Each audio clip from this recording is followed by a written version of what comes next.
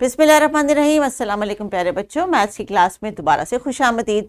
आज किताब का सफ़ा खोल के देख के बताइए, आज क्या करना है हमने?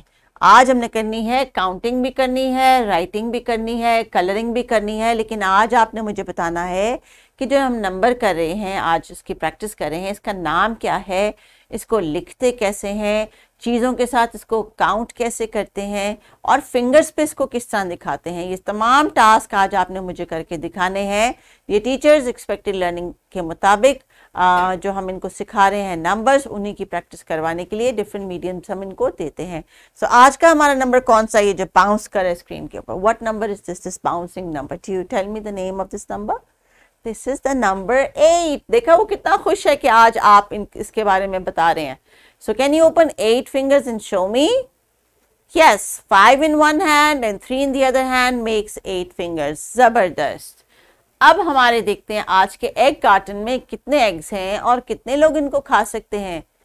There are eight eggs can you count them now yes eight eggs this is the face of number eight इसको न्यूमरल भी कहते हैं। This is the numeral of number eight These are the num number of fingers you have to show.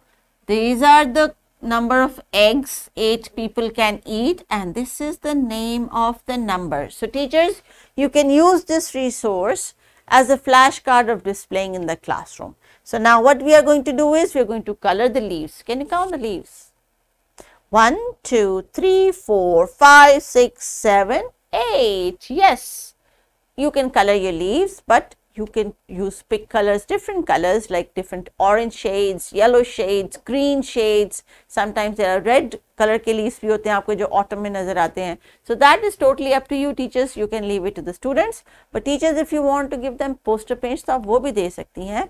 Be a little creative आप नई नई चीज़ इनको दे सकती हैं। और you can give them some glitter वो ग्लू लगा के इनके ऊपर डिफरेंट ग्लिटर लगा सकते हैं। They can make it look shiny be creative make sure के बच्चे भी डिफरेंट मीडियम्स को एंजॉय करें हैं। So once they done that they are going to do the writing this is your silent time बच्चों. आपने खामोशी से करना है।